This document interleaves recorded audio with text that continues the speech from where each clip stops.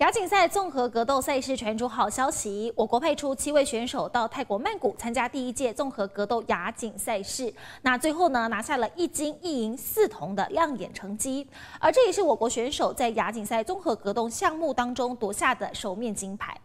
我国综合格斗国家队参加国际赛，穿金戴银大丰收，一口气拿下六面奖牌，光荣返台。其中这一面金牌更是替台湾打下历史。记录本来就想要去拿那一块金牌，所以其实这一次对我是一个自己对自己是考验，因为我的梦想是成为一个真正的职业选手。明年二月还有比赛，所以我们我还是要继续加强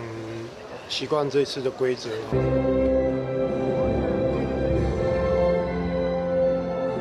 感动时刻，会场响起国旗歌，荧幕上出现代表我国的旗帜。金牌格斗选手尤凯文在九十公斤量级为我国夺下首面金牌，不只有他，其他队友们的表现也非常突出。目标也都是想要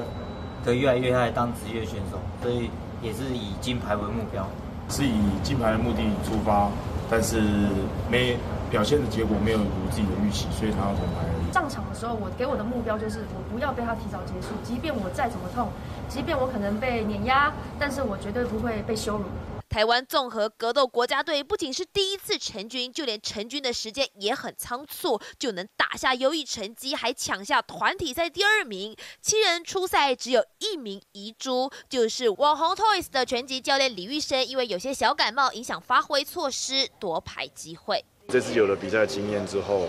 下一次的赛事我们会有更长时间准备，然后会有更多资源可以帮助选手在赛事上身体状况也好、技术也好